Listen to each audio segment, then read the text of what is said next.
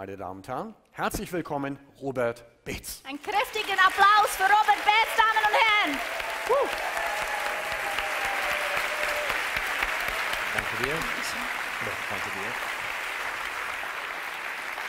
Danke, dass ihr da seid. Danke, dass ich da sein darf und für die Einladung. Ich freue mich, euch in zwei Teilen einige Dinge nahezulegen, von denen ich hoffe, dass ihr sie mitnehmen könnt in euer Leben und in eurem Körper, in eurem Herzen. Es geht um das ganze große Thema Menschsein, erfolgreich sein, nicht erfolgreich sein. Natürlich, was hier in den großen Rahmen Beruf und Berufung hinein, hineinpasst. Ganz kurz zu mir, aber wenig, weil wir machen jetzt erstmal einen Abschnitt mit 50 Minuten. Am Ende der 50 Minuten eine kleine Übung, nach innen gehen. Dann machen wir Pause und dann geht es mehr in Medias Res. Und in der zweiten Hälfte biete ich euch unter anderem neben der Vertiefung des Vortrags noch eine sehr schöne Tiefenmeditation an, weil das sehr wichtig ist. Viele wissen schon, dass wir das, was sich im Außen zeigt, und Außen fängt beim physischen Körper an, was in Ereignissen und Zuständen zeigt, in unseren Partnerschaften, in unserem Körper, in unseren Firmen, all das ist erstmal im Innen entstanden. Und ich spreche heute unter anderem von einem Körper, den ich Ihnen nahelege, nicht nur von diesem physischen, sondern von einem wesentlicheren Körper, von einem sogenannten feinstofflichen Körper, der ungefähr 50 bis 60 Zentimeter um uns herum ist, der durch diesen Körper durchgeht und der sehr viele Energiequalitäten enthält, unterschiedliche Energien, die dafür sorgen, dass das, was im Außen geschieht, gelingt oder nicht gelingt. Dass Gesundheit oder Krankheit, Fülle oder Mangel in unserem Leben auftauchen.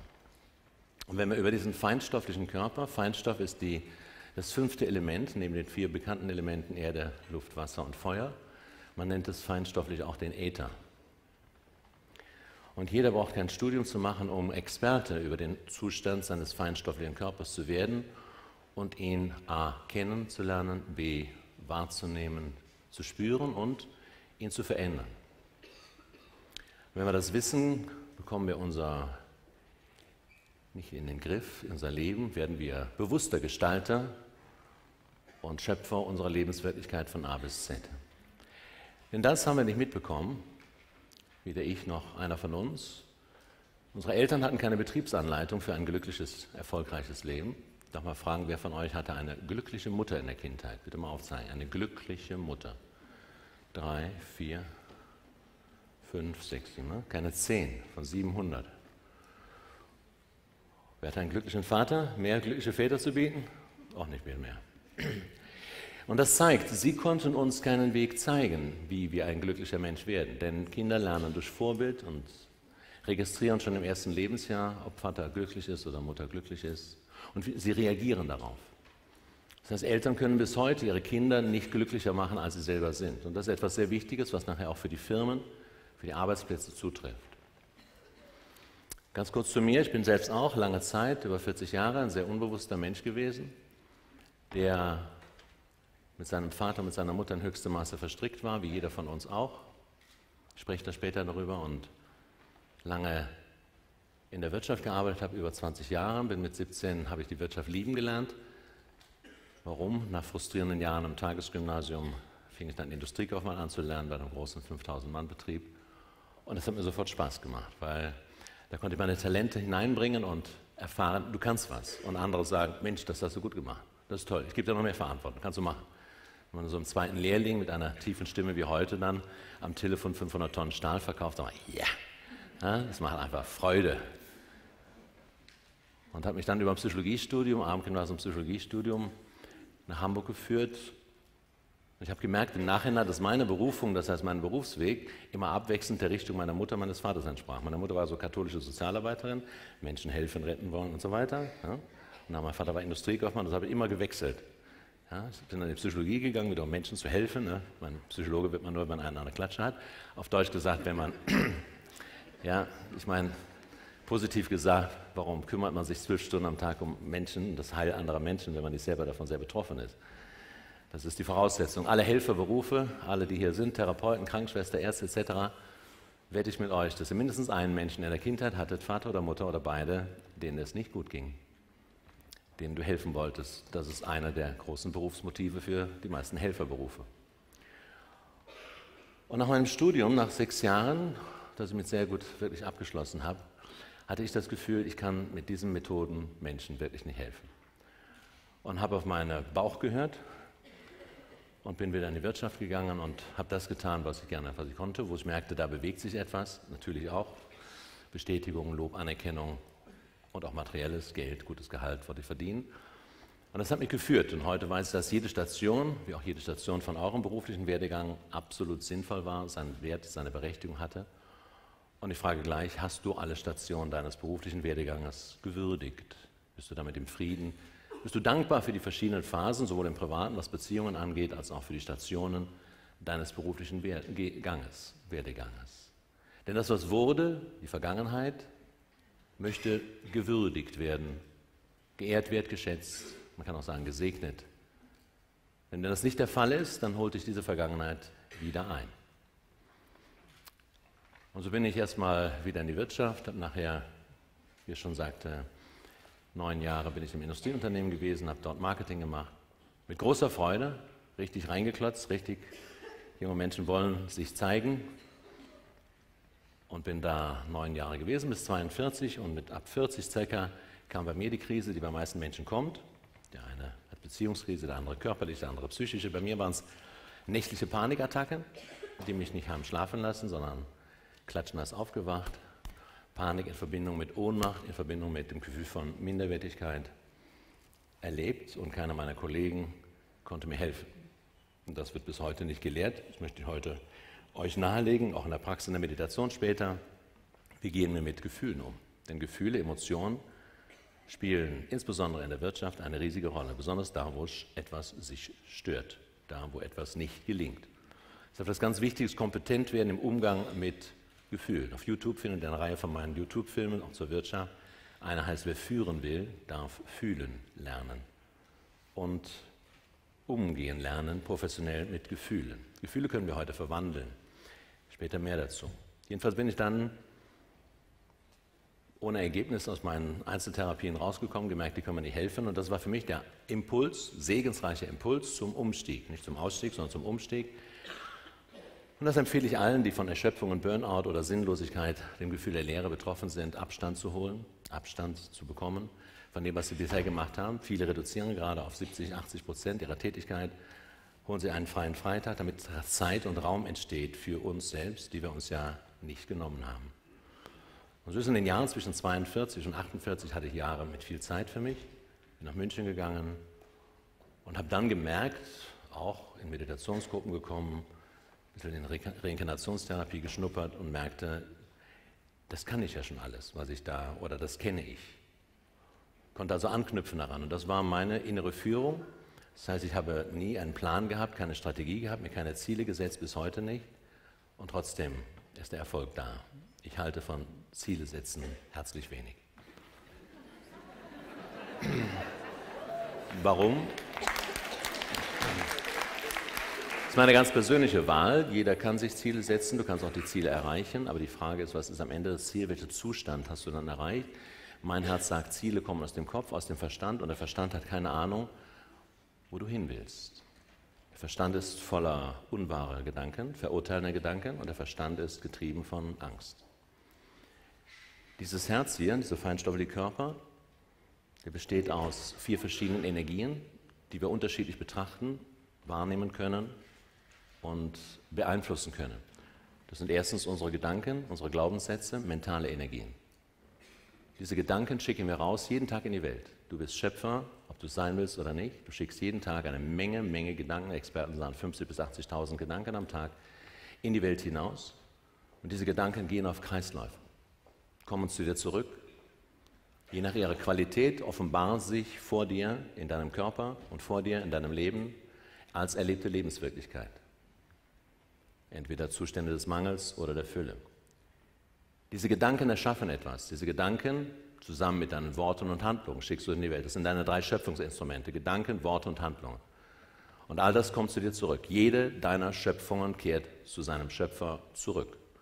Das heißt, alles, was du gesät hast, auch vor 20 Jahren, vor 10 Jahren, vor 5 Monaten, kommt zu dir zurück und möchte deine Wahrnehmung und deine Annahme. Wenn du irgendetwas verändern willst, gibt es zwei ersten Schritte. Erstmal wahrnehmen, was ist da, sowohl im Außen als auch besonders in deinem Innern. Und zweitens Annehmen dessen, was da ist, was du beobachtest und was du wahrnimmst. Denn alles, was du wahrnimmst, was auftaucht, ob in deiner Ehe, in deinem Körper, in deiner Firma, hat seinen Sinn und seine Berechtigung und sei es noch so schmerzhaft oder mit Leid verbunden. Neben den mentalen Energien erschaffen diese mentalen Energien Gefühle, Emotionen. Das ist die zweite große Gruppe, die du wahrnehmen kannst in dir. Gefühle, Emotionen. Und zu diesen Emotionen haben wir ein sehr brüchiges Verhältnis, denn niemand bekam eine Betriebsanleitung im Umgang mit Emotionen. Später mehr zu der Geschichte.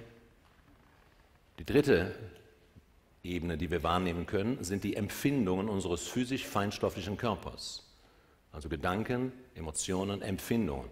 Empfindungen nennen wir im Deutschen auch gewöhnlich Gefühle, aber ich unterscheide es sehr. Es sind die Empfindungen des Körpers wie Enge, Druck, Schwere, Leere, Unruhe, Schwindel, Übelkeit, Schmerz als die größte Empfindung. Und diese Empfindungen wollen von uns wahrgenommen werden. Auch das sind unsere Schöpfungen. Dieser Körper spricht also jeden Tag zu dir, jede Minute, durch die Empfindung. Unsere Seele, unsere Psyche spricht jede Minute zu dir durch Emotionen. Hochschwingende wie Freude, Leichtigkeit, Frieden, niederschwingende wie Unfrieden, Ärger, Wut, Scham, Schuld, Neid, Eifersucht, Ohnmacht, Einsamkeit und einige andere. Und die vierte Ebene ist die wichtigste Ebene und auf die, über die wurden wir auch nicht informiert, das ist die Herzebene, das ist die spirituelle Ebene. Das heißt, jeder Mensch hat ein Herz in der Mitte seiner Brust, das kein Chirurg finden kann, das unser eigentliches Zentrum ist und unser Führer sein will. Dieses Herz möchte dich führen in ein absolut glückliches Leben. Dieses Herz ist Zentrum und Experte für Freude, für Liebe und Zentrum deines gesamten inneren Wissens und deiner Weisheit. Auf dieses Herz haben wir aber lange nicht gehört. Wir haben es früh verschlossen in der Kindheit und die Geschichte ist wichtig, um heute Menschen in Partnerschaft oder Unternehmen zu verstehen. Denn wir haben heute eine aufregende Zeit, viele wissen darum. Wir befinden uns in den aufregendsten Jahren der Menschheit seit vielen zigtausend Jahren. Diese Jahre hier, 12, 13, 14, 15, 16, sind größte Umbruchjahre. Was wird umgebrochen, was ändert sich, was wandelt sich? Zunächst mal das menschliche Bewusstsein. Heißt, wir schauen morgen mit neuen Augen auf diese Welt. Nicht mehr mit den Augen des unbewussten Normalmenschen, sondern mit den Augen des Herzens, die anders schauen und die verstehen, die hinter die Fassade schauen, hinter die Fassade eines wütenden Menschen, hinter die Fassade eines dich verlassenden Partners und hinter deine eigene Fassade. Bevor wir auf dieses Herz hören können und uns seiner Führung anvertrauen können, gilt es dahin zu schauen, was wir über dieses Herz gelegt haben. Wie das kam, dass wir heute nicht mehr auf das Herz hören. Dazu ganz kurz eine Geschichte, die jeder von uns mitgemacht hat in der Kindheit. Ich nenne sie die Vertreibung aus dem Paradies der unschuldigen Kindheit. Als Kind warst du ein offenherziges Wesen. Du kamst direkt aus der Liebe. Und das ist die Aufgabe dieser Transformationszeit. Sie will uns erinnern, wer wir wirklich sind, wozu wir hier sind. Sie will uns wieder erinnern an den Ursinn von Menschsein, von Frausein, von Mannsein, von Sexualität, von Geld, von Arbeit, von Wirtschaft. Mein Herz sagt, wir kamen hier auf die Erde, um die Liebe auf die Erde zu bringen. Das haben wir lange vergessen. Hier ist keiner strafversetzt, sondern kam jeder freiwillig. Viele empfinden sich wie strafversetzt und denken, das Leben sei ein zu ertragenes, ein irgendwie zu bewältigendes. Das ist verständlich aus der Sicht des normalen Menschen, der eben in der Kindheit erzogen wird. Wenn dieses Kind spürt, und bitte versetz dich, wenn du Mutter oder Vater bist, zurück in deine eigene Kindheit, dieses Kind spürt, ich brauche etwas. Neben physischer Nahrung brauche ich eine andere Nahrung. Und das ist eine feinstoffliche Nahrung. Das ist Aufmerksamkeit. Jedes Kind möchte angeschaut, angesprochen werden, angefasst werden, möchte wichtig genommen werden, möchte gesehen werden, möchte Kontakt haben. Das ist Nahrung. Bekommt ein Kind das nicht in den ersten Jahren, stirbt es. Nur physische Nahrung allein hält dich nicht aufrecht. Diese Kinder, jeder von uns hat gemerkt, unsere Eltern, die selber eben keine Anleitung für ein glückliches Leben bekamen, die selber einen Mangel hatten an positiver Wertschätzung, Aufmerksamkeit, Liebe, Beachtung, Bestätigung, konnten uns diese Nahrung, Aufmerksamkeit nur in einem bestimmten, sehr begrenzten Maße geben und sie banden sie an Erwartungen, an die Erfüllung von Bedingungen. Und erinnere dich nur mal, erst wenn du, erst wenn du so bist, erst wenn du leiser bist, erst wenn du braver bist, fleißiger bist, stiller bist, unauffälliger, pflegeleichter bist, etc., dann, dann, dann bekommst du ein bisschen vielleicht Lob, ein Lächeln oder die Akzeptanz, dass du da sein darfst. Aber kaum einer hat hier gehört von seinen Eltern in der Kindheit, Mädchen, Junge, ich sag dir, du bist einfach ein wunderbares Wesen und ich liebe dich, so wie du bist. Und schon keiner hat gehört, Mädchen, Junge, hör auf dein Herz, ja, hör nicht auf uns, sondern hör auf dein Herz. Ne? Mach das, was dein Herz sagt, denn wir, deine Eltern, können nicht wissen, was für dich das Richtige ist. Das haben wir nicht gehört. Und so haben wir versucht, ein Maximum dieser Aufmerksamkeit zu bekommen durch vielerlei Strategien. Ich nenne sie Aufmerksamkeitsstrategien. Und dazu gehört bei den meisten das Bravheits, Lieb, Nett, Sein, Sauber Programm. Brav, lieb, nett, sauber, das war unsere Strategie. Das heißt eben nicht das zu zeigen und zu tun und zu sein, was wir, was unser Herz des spielerischen, kreativen, auch freien, sich selbst liebenden, keinen verurteilenden Kindes wollte, sondern wir haben gemerkt, wenn ich diese Aufmerksamkeit, Klammer auf, Liebe, Bestätigung, Wertschätzung, Anerkennung etc., Klammer zu, bekommen möchte, dann muss ich dafür was tun. Ich muss mich verstellen, ich muss anders werden. Die Aufforderung der Welt, und das ist keine Elternschelte, alle Eltern haben ihr Bestes gegeben und ihnen gebührt großer Dank und Wertschätzung. Sie haben uns nicht nur das Leben geschenkt, sie haben ihr Bestes gegeben und getan. Und dafür dürfen wir unseren Eltern dankbar sein. Und wer das bis heute noch nicht ist, der hat noch eine Energieblockade. Die darf gelöst werden. Und auch die hängt sehr mit beruflichem Erfolg zusammen, die ich später nochmal ausführen werde. Die andere Aufmerksamkeitsstrategie war Leistung, ranklotzen, gute Noten in Sport oder in der Schule oder auch Musik. Da bekamst du Punkte, bekamst du Aufmerksamkeit positiver Art. Manche waren so pflegeleicht, dass sie übersehen wurden. Ja? Viele von euch, wer kann sich noch erinnern, in der Kindheit an das Gefühl, ich werde hier nicht wirklich gesehen. Bitte mal aufzeigen. Ich werde nicht wirklich wahrgenommen, eine Menge. Ja? Und das Kind, das das denkt, muss etwas tun, um wahrgenommen zu werden. Ein Teil fängt dann an und sagt, ich glaube, ich muss hier auffallen. Ich muss hier öfter Nein, Nein sagen. Ja? Schon bevor die Frage kam, Nein.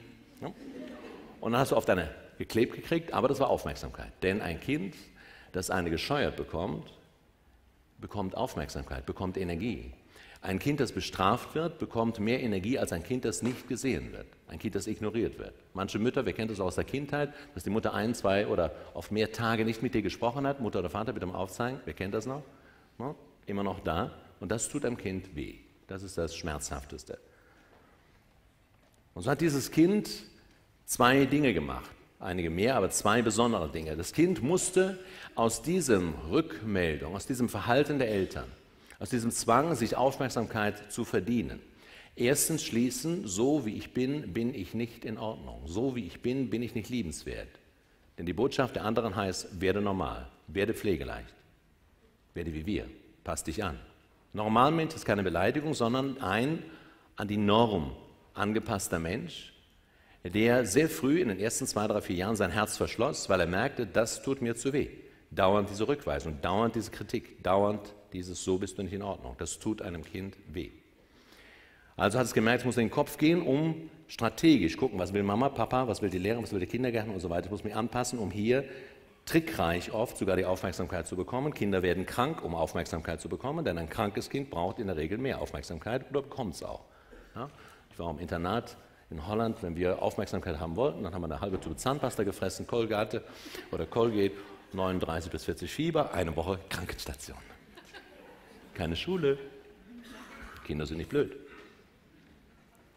Das war das Erste. Das heißt, jeder, der hier sitzt, hat sich in den ersten vier bis sechs Jahren der Kindheit verurteilt, hat sich als nicht liebenswert deklariert. Das musste er als Rückschluss aus der Behandlung von anderen. Denn das ging im Kindergarten und in der Schule genauso weiter. Und es hat weiter gelernt, um das Überlebensnotwendige zu bekommen, um die Energie, die ich brauche zum Leben zu bekommen, muss ich etwas tun. Ich muss mir diese Energie durch Leistung und Anpassung verdienen. Das ist der größte alte Schuh, in dem meisten Menschen heute noch gehen. Und das wirkt sich bis heute in alle Partnerschaften aus und in jede Firma aus, an jedem Arbeitsplatz. Ich behaupte, der erwachsene Mensch heute, auch der 40-, 50-Jährige, geht immer noch hin und hat das Motiv, ich muss mir in der Firma Aufmerksamkeit verdienen, Lebensberechtigung, Energie bekommen. Und ich darf nicht das tun, was meinem Herzen entspricht. Und die Männer haben ihr Herz als Junge schon zwei Jahre früher verschlossen, behaupte ich. Denn für einen kleinen Jungen ist all das, was im weitesten Sinne mit Schwachsein, mit Gefühlen umgeht, mit Tränen, mit Trauer, mit Kleinheit, mit Angst etc., geht für einen kleinen Jungen schon gar nicht. Man spricht zwar heute nicht mehr davon, der Indianer kennt keinen Schmerz, aber die Erziehung ist nach wie vor so, insbesondere nicht von den Eltern, kein Vorwurf, sondern von den Gleichen in der Klasse. Wenn ein Junge heute im ersten, zweiten Schuljahr noch öfter mal Tränen laufen lässt, der ist für die nächsten Jahre durch. Der heißt in der Schule das Mädchen. Geht gar nicht, dem fallen die Eier weg, sozusagen. Der Unterschied zwischen Kindheit und Erwachsenen ist der, dass wir in der Kindheit tatsächlich diese Aufmerksamkeit gebrauchen. Aber in den meisten Männern, in allen Männern und Frauen gibt es heute noch dieses Kind. In diesem feinstofflichen Körper nimmst du deine gesamte Vergangenheit jeden Tag mit in dein Leben hinein. In deinem feinstofflichen Körper ist alles gespeichert, was du jemals erfahren und erlebt hast, in der Form gespeichert, wie du heute darüber denkst und fühlst. Heißt, du kannst da was verändern, aber viele haben das nicht gemacht. Heißt, betrachten bis heute ihre Vergangenheit aus den Augen des verletzten, enttäuschten, nicht satt geworden, nicht an Liebe satt geworden und oft zurückgewiesenen Kindes.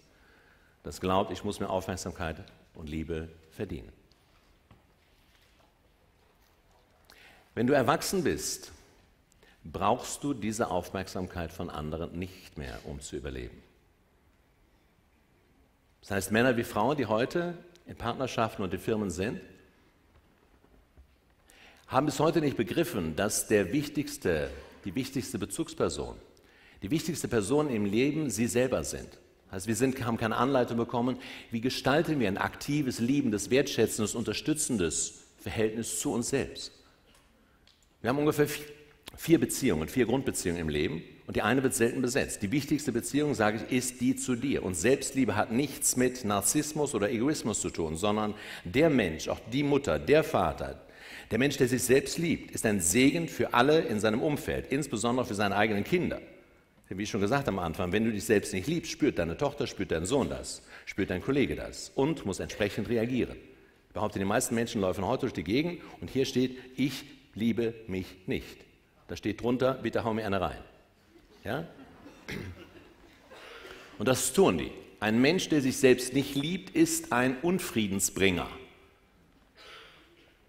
und kann seine Kinder auch nicht anleiten, sich selbst zu lieben.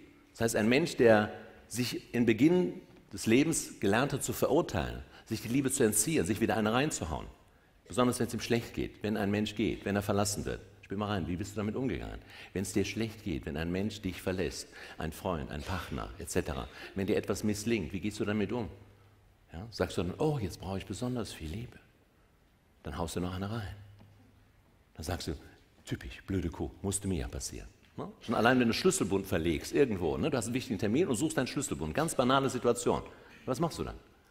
Ja, da rennst du rum wie ein Idiot, ne? an derselben Stelle guckst du fünfmal und so weiter und sagst, ja, wollte ich immer schon, ist doch zu blöd, ne? Anstatt sich hinsetzen und sagen, oh, trink mal Tässchen Tee, der wird schon kommen. Ja, das machen wir in der Regel nicht. Bitte prüfe das. Wenn es dir schlecht geht, beobachte dich, wie du denkst und umgehst und welche Gefühle hochkommen und wie du mit den Gefühlen umgehst. Ich behaupte also heute in Unternehmen gehen jeden Morgen Unternehmen mit 500 Mitarbeitern, 500 Erwachsene und 500 Kinder rein. Jede Firma ist auch ein Kindergarten. Schon mal gemerkt? Und das ist keine Verurteilung, sondern das meine ich buchstäblich.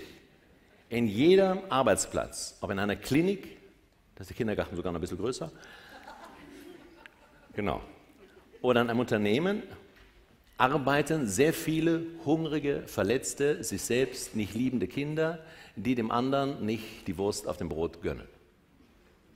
Und jetzt in dieser Zeit der Transformation, das war ja früher auch schon so, nur haben wir einige neue Bedingungen in den letzten Jahren gehabt. Wir haben das Thema der Beschleunigung, wir haben das Thema der Komplexität, der Globalisierung, des zunehmenden Druckes. Heute arbeiten, leisten weniger Menschen mehr als vor zehn Jahren in einer Abteilung, in einer Firma. Das heißt, diese Bedingungen haben sich geändert, aber es sind nicht die Ursache. Die Bedingungen haben sich geändert, aber es ist nicht die Ursache, warum Menschen jetzt demotiviert sind, warum sie Burnout bekommen, warum sie erschöpft waren, warum sie innere Kündigungen vollziehen und sonstige Dinge. Das ist ein ganz wichtiger Teil. Hier ist sehr noch das Opferbewusstsein des normalen Menschen verbreitet. Viele von euch werden denken, ja, ja, die Wirtschaft ist ja so schlecht, also diese Manager und diese Wirtschaft überhaupt. Und die sind ja schuld daran, dass es uns da unten, den Mitarbeitern, nicht so gut geht. Also wir müssen das System und die Wirtschaft ganz schnell ändern. Ich sage, mit dieser Haltung änderst du gar nichts. Denn das ist eine sehr verurteilende Haltung und greift viel, viel zu kurz. Ich behaupte, wir alle, die wir hier sind und in der Wirtschaft oder wo immer arbeiten, haben diese Wirtschaft erschaffen. Durch unser Bewusstsein, besser gesagt, durch unser Unbewusstsein. Wenn du klagst über den Druck in deiner Firma, den Druck von deinem Chef, frag dich, wie viel Druck machst du dir? Hast du seit der Kindheit gemacht? Ich muss, ich müsste, ich hätte müssen, ich soll, ich sollte, ich hätte, soll, ich darf nicht und so weiter. Genau, das sagt das Kind. Das sagt, aufpassen, aufpassen, aufpassen, ich muss mir hier meine Punkte verdienen. Die Hauptursache des Druckes ist in deinen Gedanken, in deinen dich verurteilenden, dich antreibenden Gedanken. Heißt, wir haben in uns mindestens zwei innere Figuren ausgebildet. Die nenne ich einmal den inneren Kritiker, besser gesagt den inneren Richter. Den kannst du in einer meiner Meditationen, Schluss mit Hetze, Druck und Stress, persönlich kennenlernen, deinen Auftrag zurücknehmen, ihn entlassen. Die andere Person ist der innere Antreiber und Druckmacher. Jeder Satz, und schreib das auf, wenn du Übung machen willst, schreib alle Sätze auf mit müssen, müsste, hätte müssen, sollen, sollte, hätte soll, nicht dürfen. Da brauchst du mehr als ein Blatt für.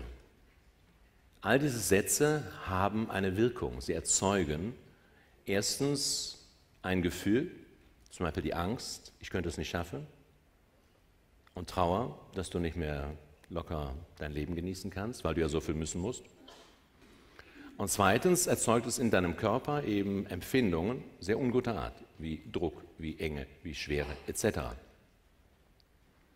Ich möchte also jeden erinnern und jeden einladen, seine Perspektive zu ändern in Bezug auf die Qualität dieser Zeit, dieser Transformationszeit. Das heißt, alles, was geschieht in jeder Firma, in jeder Klinik, an jedem Arbeitsplatz, ist sehr, sehr sinnvoll. Auch wenn es sehr schmerzlich ist, auch wenn Menschen darunter leiden. Warum? Weil wir Menschen brauchen das, bevor wir etwas ändern. Wenn es bei uns einigermaßen gut geht, sagen wir doch, geht doch noch, geht doch immer noch, ist doch immer noch gegangen. Erst wenn es nicht mehr geht, erst wenn du einen Burnout hast, erst wenn du krank bist und nicht mehr, nichts mehr geht, ja, dann sagst du, ach du Scheiße. Und das ist ein Geschenk. Jede Krankheit, jeder Schmerz, jede Kündigung ist ein Geschenk. Denn dann sitzt du da zu Hause und hast erstmal auf seit Jahren Zeit, dir über die wichtigsten Gedanken fragen, Gedanken zu machen, die wichtigsten Fragen Gedanken zu machen, was treibe ich hier eigentlich? Wir sind in einen Funktionsmodus, ins Funktionieren gegangen, in die Tretmühle gegangen und fragen gar nicht mehr, warum mache ich das, wie ich das mache und gucken nicht mehr, beobachten nicht mehr, wie mache ich das. Das heißt, wir betrachten uns selbst als Opfer einer Wirtschaft, einer Gesellschaft, in der man leisten muss, um zu überleben und eine Rechnung zu bezahlen. Und so ist das Motiv morgens aufzustehen, in den Tag zu gehen, bei den meisten sehr, sehr klein und sehr merkwürdig verzerrt. Denn die meisten denken tatsächlich, ob bewusst oder unbewusst, am Morgen, scheiße, ich muss schon wieder aufstehen. Das ist ungefähr genauso, als ob ein Vogel am Ast ist und sagt, scheiße, ich muss schon wieder singen heute. Ja? Genauso verrückt ist das. Ich möchte einladen, hier Bewusstheit hineinzubringen, das Licht reinzubringen. Licht, Aufmerksamkeit ist Bewusstheit. Ich lade jeden ein, wenn du zu den Wünschen deines Herzens das genau weißt, was du hier in diesem Leben machen kannst, um in die Fülle zu kommen. Ich sage, jeder hat in diesem Herzen einen Plan der Möglichkeiten, der Talente. Du bist nicht hier, um dein Leben irgendwie über die Runde zu bringen, sondern dieses Leben ist ein Weg, der über verschiedene Phasen geht, der beginnt in einem Zustand der Unbewusstheit. Unsere Eltern unbewusst, wir unbewusst und geht in Richtung von Bewusstheit. Unser Leben ist ein Weg aus Unfrieden und Verstrickung in Richtung Frieden und Freiheit. Jeder verstrickt sich mit Mutter, Vater, Bruder, Schwester und anderen Schlüsselpersonen der Kindheit und läuft, wenn er aus dem Haus rausgeht mit ca. 20, verstrickt, unfrei, offiziell frei, innerlich unfrei durch das Leben. Und diese Verstrickungen haben etliche, etliche Folgeerscheinungen, in allen Lebensbereichen, deiner Partnerschaft, in deinem Körper und im Unternehmen. Und das sind auch die Bühnen der Transformation. Die Transformation dieser Zeit zeigt sich vor allen Dingen auf vier Bühnen in diesen Jahren. Auf der Ebene des Körpers, der Psyche, der Partnerschaft und Familie und des Arbeitsplatzes. Dort ist jetzt richtig Bewegung. Und nochmal, ich halte diese Bewegung für extrem segensreich, denn sonst bewegen wir unseren Hintern doch kaum. Erst wenn wir etwas verlieren, können wir wertschätzen, wie es vorher war. Nimm das Beispiel deines Körpers. Solange der einigermaßen funktioniert, sagst du, geht doch, geht doch noch, geht doch noch. Ein bisschen Rückenschmerzen hat jeder, klar, ein bisschen Kopfschmerzen haben sie auch und ein bisschen Zipperlein und so weiter, aber geht doch noch. Aber erst wenn du plötzlich nicht mehr kannst, wenn das linke Bein auf einmal das Knie auf einmal so weh tut, dass du nur noch huppeln kannst, ja, und jetzt sagst, ach du Scheiße, ne? jetzt passiert eine Aufmerksamkeitsverschiebung. Auf einmal interessierst du dich für das linke Knie, um das du dich bisher einen Scheißdreck gekümmert hast obwohl es dir den ganzen Tag gedient hat. Mit Beugen, Beugen, Treppensteigen, Tanzen, alles und so weiter. Ne? Also nicht interessant. Jetzt ist es interessant, wo es weh tut. Also geht deine Aufmerksamkeit dahin, du kümmerst dich auf die eine oder andere Art und Weise darum, das dauert zwei, drei Monate und Gott sei Dank, nach zwei, drei Monaten sagt das Knie, jetzt gehe ich wieder. Es besteht jetzt die Chance, dass ein Bewusstseinssprung entstanden ist, dass du sagst, ist doch gar nicht so schlecht der Körper. Das heißt, erst etwas verlieren und danach weißt du, mein Gott, wie sinnvoll ist das? Und das trifft jetzt nicht nur für den Körper zu. Das heißt, nachhinein könntest du sagen, was will eigentlich dieser Körper? Erstmal eine Dankbarkeit diesem Körper entgegenbringen, die Dankbarkeit zu allem, was dir heute dient, auch deinem Partner, deinem Körper, deiner Firma etc. Bist du deiner Firma dankbar? Oder den letzten Firmen? Bist du der Arbeit dankbar? Hier gilt jetzt ein Energiegesetz, das in dieser Zeit sehr stark greift, denn in der Transformationszeit, übrigens aus welcher Kraft wird diese Transformationszeit genährt, fällt die zufällig vom Himmel? Sie kommt aus der Kraft, aus der wir alle geboren sind, die bis heute weitgehend unterschätzt wird, aus der Liebe. Die Liebe macht jetzt mobil durch die Herzen der Menschen. Und den Zusammenhang zwischen Liebe und Arbeit, Liebe und Geld Liebe und Partner, Liebe und Körper zu entdecken, ist eine sehr lohnende Sache. Denn dieser Körper braucht nur drei Nährstoffe. Liebe, Dankbarkeit und ein Mensch, der mit Freude und Ja lebt, der richtig Bock hat auf Frau sein, auf Mann sein. Und das haben viele verloren. Denn unsere Eltern, wie gesagt, waren nicht glücklich, konnten uns kein glückliches Frau sein und Mann sein zeigen. Und die Liebe sagt jetzt, was du nicht liebst, verliert jetzt seine Haftung. Heißt, könntest du sehr schnell verlieren. Kannst du den Frieden, in dem wir hier leben, den äußeren Frieden wertschätzen? Wenn du nach 50, 60 geboren bist, eher nicht, denn du hast das Gegenteil nicht erlebt. Wir erleben demnächst, im nächsten Jahr, 70 Jahre Frieden in Zentraleuropa. Das ist die längste Friedensperiode, die die Geschichtsschreibung feststellen kannst. Wir müssen eigentlich Rumba und Samba tanzen. Wir haben in den letzten 60, 75 Jahren einen stetig steigenden Wohlstand für die meisten. So viel Wohlstand wie heute gab es noch nicht. Wir können über Verteilung reden, ja. Wir haben noch nie so viele Jobs in Deutschland gehabt, 42 Millionen Jobs. Aber wir sind nicht zufrieden. Wir haben mehr im Kühlschrank, als wir essen können, mehr in unseren Kellern, als wir brauchen können. Mehr Fülle, mehr Materie, als wir verbrauchen. Was fehlt? Genau das Gegenteil. Das, was nicht auf der Ebene der Materie ist, da haben wir Mangel im psychischen, und im Bereich des Glücklichseins. Hier ist kaum einer wirklich glücklich. Du kannst eine Million am Konto haben, du kannst deinen Job haben, du kannst dein Häuschen abbezahlt haben, zwei Autos haben, drei Frauen haben, drei Männer haben, was immer. Ja? Aber die Frage ist, wie fühlt sich das an? Ist das ein glücklicher Mann, eine glückliche Frau? Ist das von Erfüllung geprägt? Mein Herz sagt, wir wollen und wünschen uns sehnlichst Zustände meiner großen vier Fs. Freude, Frieden, Freiheit und Fülle. Und Fülle ergänzt sich gern mit Erfüllung. Dieses Herz wünscht sich, dass du auf es hörst. Und bevor wir die Stimme des Herzens hören können, die je, das jeden Tag zu dir spricht, dürfen wir ein bisschen aufräumen und erstmal Zeit, Ruhe und Stille nehmen für uns selbst im Alltag. Denn da haben wir uns im Alltag im viel Machen, Machen, Machen und Denken verloren. Wir sind aus der Mitte gekippt. Wir leben ungefähr, als wenn wir so da stehen. Auf einem Bein und nicht auf dem anderen. Das heißt, um nach innen zu gehen, um zu hören, was sagt das Herz, um die Signale deines Körpers wahrzunehmen, um deine Gefühle wahrzunehmen und sie zu würdigen, indem du sie bejahend fühlen lernst, braucht es Auszeit, braucht es Pausen, braucht es Zeit nur für dich. Meine Empfehlung ist eine Stunde am Tag, nur für dich. Auch wenn du drei Kinder hast. Morgens, bevor du in den Tag hineinfällst, mindestens 15 Minuten hinsetzen, Schlafzimmer, Augen zu, nach innen gehen. Feststellen, was ist denn jetzt da? dieser Körper sagt dir genau, was jetzt da ist. Und das, was da ist, möchte beatmet, gefühlt und angenommen werden. Dann gehst du zentriert in deinen Tag. Du magst noch einige zentrale Sätze am Anfang sagen. Wer willst du heute sein an diesem Tag? Wie willst du durch diesen Tag gehen? Du kannst sagen, ich danke für diesen Tag und nehme alle Geschenke dieses Tages liebend und dankend an. Das ist eine andere Ausrichtung, nicht nur mental, eine spirituelle Ausrichtung. Ich entscheide mich mir selbst, meinen Kindern, meinem Partner, meinen Kollegen, meinem Chef, mit Achtsamkeit und Liebe und Wertschätzung zu begegnen, aber vor allen Dingen mir selbst. Das wäre eine andere energetische Ausrichtung. Das ist so ein erster Schritt aus dem unbewussten Menschen in einen bewussten Menschen, der weiß, was er tut. Wir sind morgens nicht da. Wir sind die meiste Zeit im Tag, obwohl wir viel tun, schlafen, schlafend, schlafen. Schlaf heißt unbewusst. Mit den meisten Lebensläufen müsste stehen, sie wissen nicht, was sie tun. Denn warum sollten wir uns sonst Krankheit, Unglück, Leid erschaffen? Schmerz. Weil wir halt bisher keine Betriebsanleitung hatten. Dieses Herz spricht jeden Tag zu dir. Nicht durch Worte, sondern durch das Signal von Stimmigkeit oder Unstimmigkeit. Heißt, du kannst jeden Tag prüfen, besonders in diesen Pausen, wenn du nichts tust und nicht so viel denkst, fühlen. Fühlt sich das, was du hier lebst, stimmig oder rund an oder unstimmig und unrund? Dafür brauchst du keine drei Sekunden, um zu fragen und zu beantworten.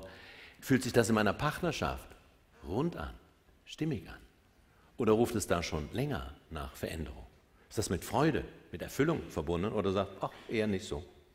Fühlt sich meine Arbeit, mein Verhältnis zu meinen Mitarbeitern, meinen Kollegen stimmig, rund an oder nicht? Dazu musst du keine Analyse machen. Das sagt dir dein Herz. Und dieses Herz ist Experte dafür und es weist dich darauf hin, sagt hier, schau mal hin, schau mal hin, schau mal hin, fühl mal hin, kümmere dich darum, um das Unstimmige, aber wir, der Kopf sagt, ach komm, den anderen geht es auch nicht besser, machen wir weiter. Bis es an eine Grenze geht. Und das tut es jetzt bei sehr vielen Männern und Frauen auf allen Gebieten. Körperlich, in der Partnerschaft und in den Firmen. Denn das, was bisher ging, zum Beispiel in der Ehe, die Ehe ohne Liebe, war bisher über viele Jahrhunderte möglich, jetzt nicht mehr. Da sagt, fragt das Herz dich, sag mal, warum bist du mit diesem Menschen zusammen? Und wenn du ehrlich bist, dann kommen so Antworten wie, ja, ich will nicht allein sein. Sag nicht, weil du ihn liebst. Ja? Oder spür mal rein, ob das der Fall ist. Der Kopf sagt, ich liebe ihn. Und das Herz sagt, stimmt gar nicht, du brauchst ihn. Das heißt, ich behaupte, das meiste Motiv, das größte Motiv für Partnerschaft ist der Wunsch, nicht allein zu sein. Eine Negativdefinition. Ich möchte nicht allein sein. Und das hat Wolfram eben auch schon gesagt. Um zu. Ich habe einen Partner, um nicht allein zu sein. Und nicht, weil du so vor Freude überberstest und die Freude feiern möchtest mit einem anderen. Das heißt, in der Partnerschaft, ich grüße alle Parship-Teilnehmer, da ist genau das bedürftige, kleine, nach Aufmerksamkeit, Liebe, Energie von anderen suchende Kind unterwegs und möchte sich nach wie vor Energie, Aufmerksamkeit, Bestätigung, Liebe, Wertschätzung von einem anderen Menschen holen, damit es sich besser fühlt, damit der andere es nährt, das Kind im Mann oder in der Frau. Und das geht jetzt immer schneller in die Hose, denn das klappt nicht. Denn die zwei, der eine, der Braucher, ich brauche einen Menschen, zieht einen anderen an. Und was zieht er an? Keinen Liebenden, auch einen Braucher. Braucher sucht Braucher, Bauer sucht Frau. Hm? Ja? Und diese zwei Braucher gründen dann zusammen eine Verbrauchergemeinschaft. Und in den nächsten Monaten und Jahren verbrauchen die sich ganz schön. Und genau dasselbe passiert auf der Ebene der Wirtschaft. Ich brauche einen Job, um zu, um Geld zu verdienen, um meine Rechnung zu bezahlen und so weiter. Und das geht jetzt nicht mehr, denn Arbeit ist, wie Kali Gibran so schön seinen Propheten sagen lässt, Arbeit ist sichtbar gemachte Liebe. Und wenn du nicht mit Freude arbeitest, sagt der Prophet, dann lass lieber die Arbeit sein und setz dich vor die Tore des Tempels und nimm Almosen von denen, die mit Freude arbeiten. Denn wenn du nicht mit Freude arbeitest, machst du nur Scheiß. Das waren meine Worte, war nicht Gibran. Also wenn du mit Freude Bäcker bist, dann backst du ein bitteres Brot und das macht keinen satt. Und wenn du Winzer bist und hast keine Freude an der Rebe, am Winzer sein, dann träufelt deine Abneigung ein Gift in den Wein, nützt keinem Schwein, reimt sich sogar. Ja? Selbst wenn du Sänger bist und singst nicht mit Liebe und Freude, dann machst du mit deinem komischen Gesang die Ohren taub für die Stimme des Tages und die Stimme der Nacht. Kali Gibran. Und mein Herz sagt, genau das, was Karl Liebmann gesagt hat, wird jetzt wirksam in den Firmen. Dort geht der Kit weg, das Bindemittel. Wenn deine Arbeit nicht mit deinem Herzen verbunden ist, dann fällt sie weg. Das heißt, was du nicht liebst, wirst du in dieser Zeit sehr schnell verlieren,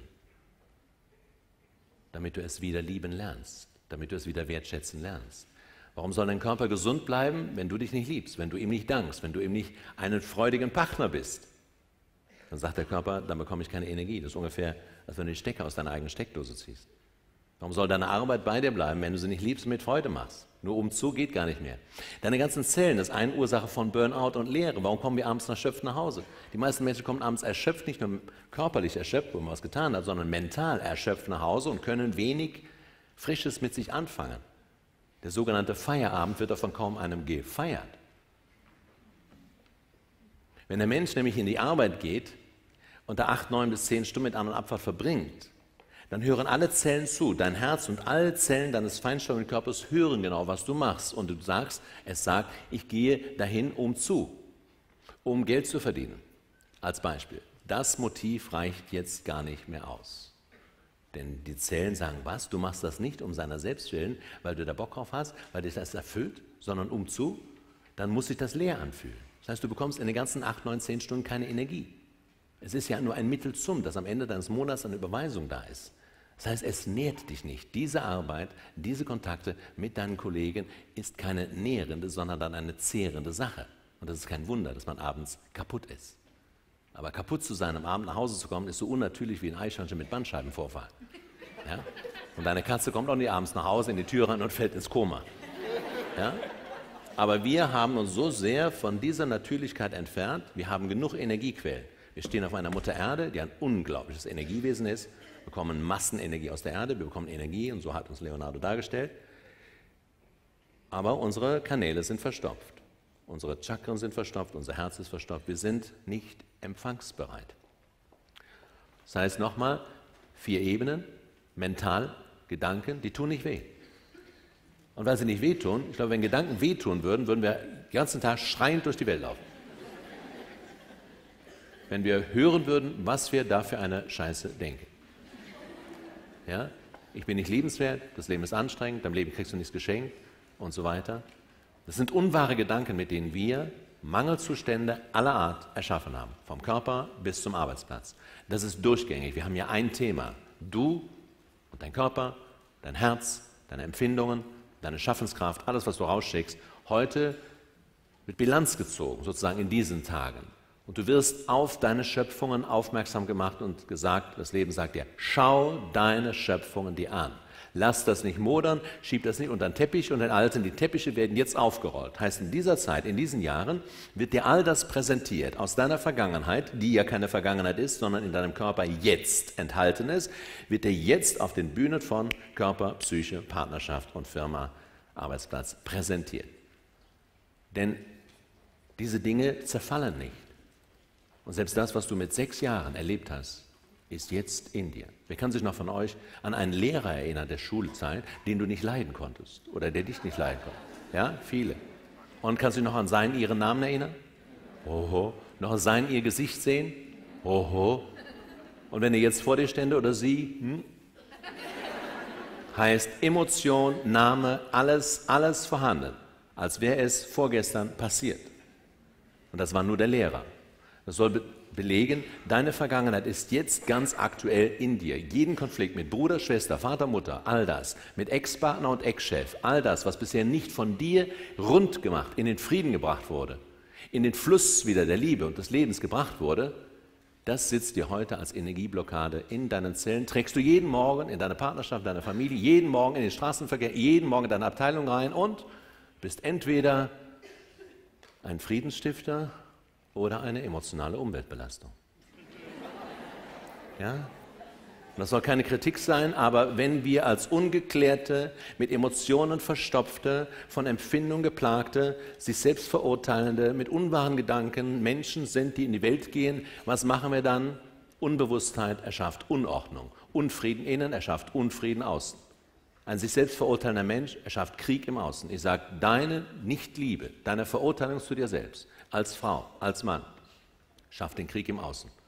Von deiner Firma bis Syrien, bis Krim, überall. Das ist die Hauptursache für den Krieg in dieser Welt. Weil von den acht Milliarden Menschen hier auf diesem Planeten, ich weiß nicht, siebeneinhalb, ich weiß nicht, wie viele sich da eben nicht lieben. Und wenn wir das entstehen, wissen wir auch, haben wir den Schlüssel in der Hand für den Frieden und die Zusammenarbeit in deiner Abteilung, in deiner Firma. Du bist von Haus aus das Licht der Welt. Du hast es nur vergessen. Dieses Herz will nichts als lieben, will wieder verbinden, will wieder heilen, dich selbst und andere, Beziehungen, will Verurteilung zurücknehmen, weil der Verstand sogar über das Herz erkennen kann, ich habe mich geirrt. Und diese Welt ändert sich jetzt über die Herzen der Menschen, denn das sind wir von Haus aus. Wir sind erstens Herzmenschen. Und diese Liebe ist weit unterschätzt worden, aber diese Liebe dreht jetzt richtig auf und du spürst es in allen Bereichen. Und diese Transformationszeit, die kannst du nicht aussitzen oder so als Zuschauer. Wer sagt, da glaube ich nicht dran, das ist esoterischer Quatsch, kannst du machen, kein Problem. Nur dann verhältst du dich wie einer auf der Autobahn, wo alle 150 fahren, in der Schweiz fahren wir 120 hier. Ja. Und du sagst, ich fahre mal 50. Ich mache diesen Fluss von 120 gar nicht mit. Dann hast du ein Problem. Ein Energiestauproblem. Genau diese Energiestauprobleme spüren jetzt immer mehr Menschen in ihren Körpern, nicht erst beim Burnout, schon bei den Gelenkproblemen. Ja? Da ist so viel Starre jetzt in den Menschen zu spüren. Und so viel Schmerzen, wo der Arzt sagt, meine Liebe, mein Lieber, ich kann nichts finden. Das wirst du in diesem Jahr noch oft hören in deiner Bekanntschaft. Du gehst zum Arzt, der checkt dich durch, der macht alle Methoden und er sagt, scheiße, ich kann nichts finden. Das sind eben genau die Energieblockaden und Schmerzen im feinstofflichen Körper, für die bisher kein Gerät hat. Er kann nur Organ untersuchen. Und darum dürfen wir uns diesem nicht sichtbaren, nicht physischen, sondern feinstofflichen Bereich von Gedanken, über Empfindungen, Emotionen, Herzimpulsen zuwenden und dieses Herz wirklich befragen. Herz, was bringt dich zum Singen? Das ist die zentrale Frage. Mein Herz, was bringt dich zum Singen? Die Entscheidung treffen, ich entscheide mich neu. Als Kind musste ich in die Birne gehen, in den Kopf, ins Denken, ins strategische Agieren. Heute möchte ich wieder dieses Herz, das unversehrt in jedem enthalten ist, wieder in den Mittelpunkt meines Lebens stellen. Dafür brauchst du, wie schon gesagt, Zeit und Ruhe, Natur, Ausatmen. Davon reden wir gleich, wie wir das konkret machen. Und dann wirst du dein Herz nicht erst in fünf Jahren, sondern in fünf Tagen, in fünf Wochen mehr und mehr wahrnehmen. Weil dieses Herz weiß genau, ob du ihm treu bist oder nicht. Alle haben wir gelernt, dieses Herz zu verraten. Und das ist die Todesursache Nummer eins. Die offizielle ist Herz-Kreislauf-Krankheiten. Aber die Hauptursache der Menschen ist das übergeordnete Herz. Das ist die Pumpe. Diese Pumpe ist von diesem Herzen abhängig. Ja? Und das Blutkreislauf ist von dem Kreislauf der Energien abhängig, ob es fließt. Jedes Mal, wenn wir ein Problem haben, haben wir ein Energieflussproblem. Dann ist irgendwo Energie nicht geflossen. Und das hast du auf unbewusste Weise bewerkstelligt, dass Energie nicht floss. Davon später mehr. Ich wünsche euch eine schöne Pause.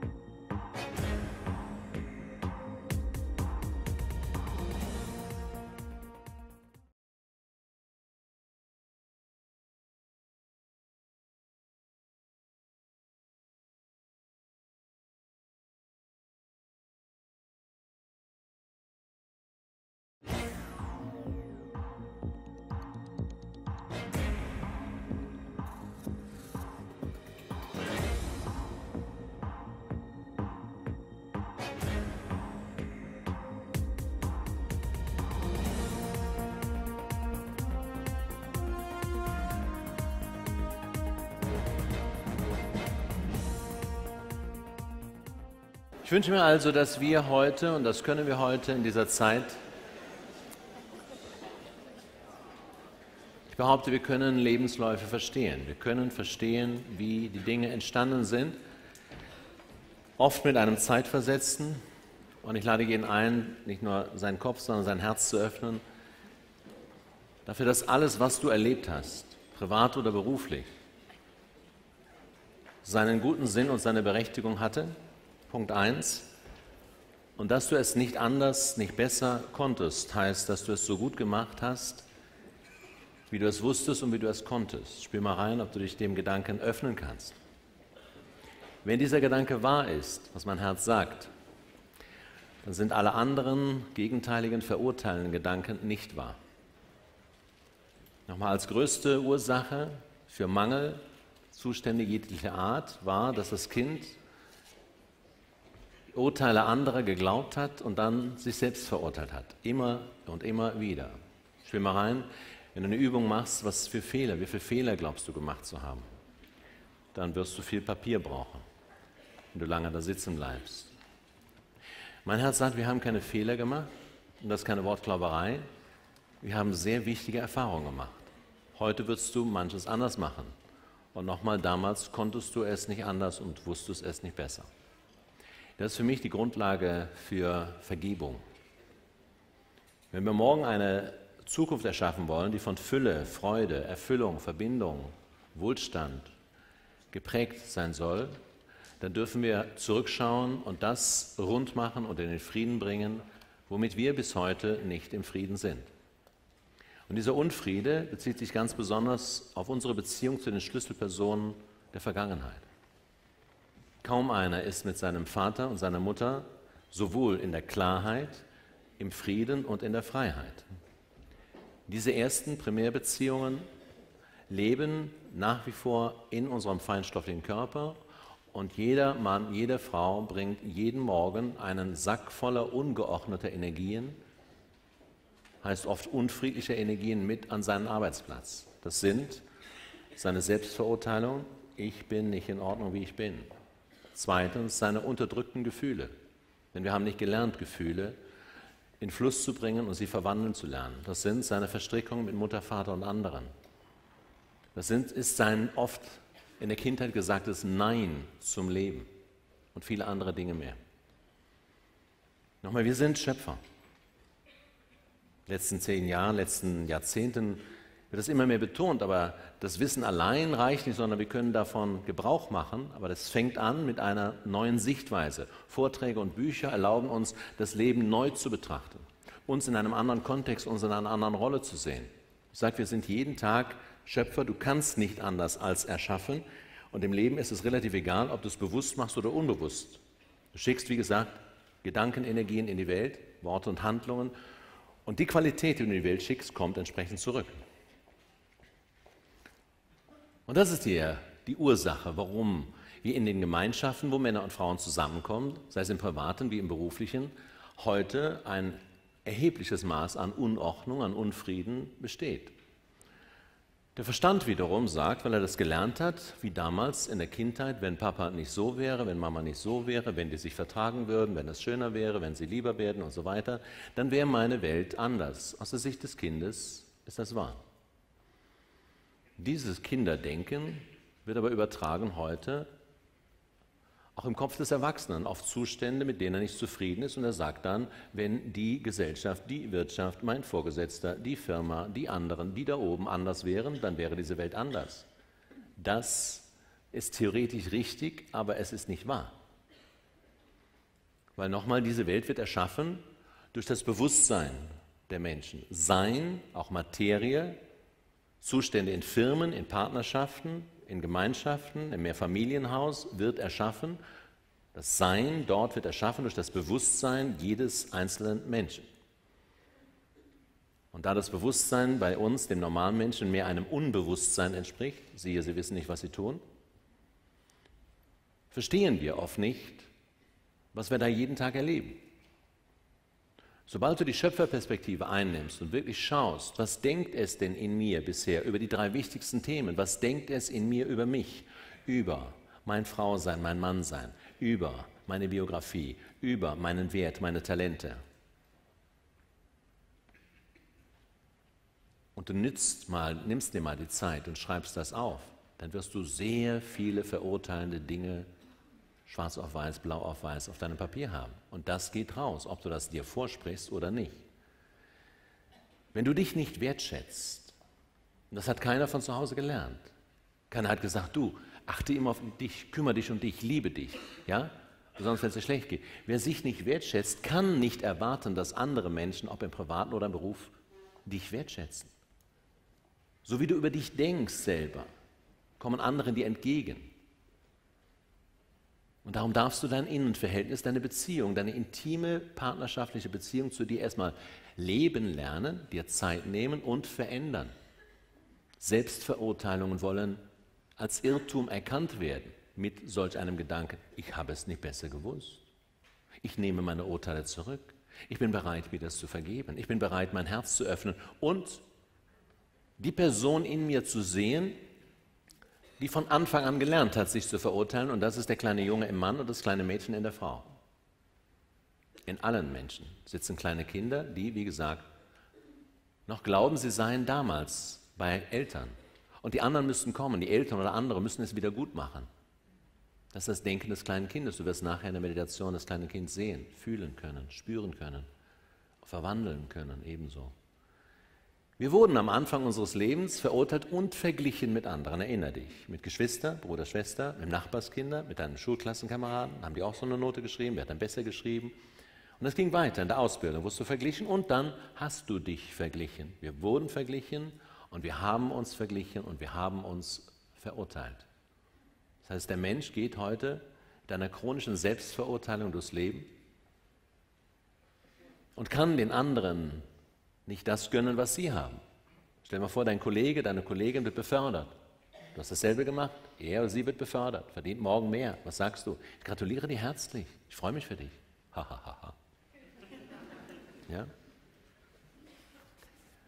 Und das ist ein Missstand, den dann kannst du ändern. Wer sich selbst, und das ist in der Partnerschaft dasselbe, wir erwarten vom anderen, was wir uns selbst nicht schenken.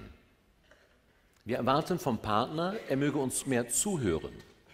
Frage, hörst du dir selber zu, deinem Inneren? Er möge mich liebevoller, sie möge mich liebevoller behandeln. Wie liebevoll behandelst du dich?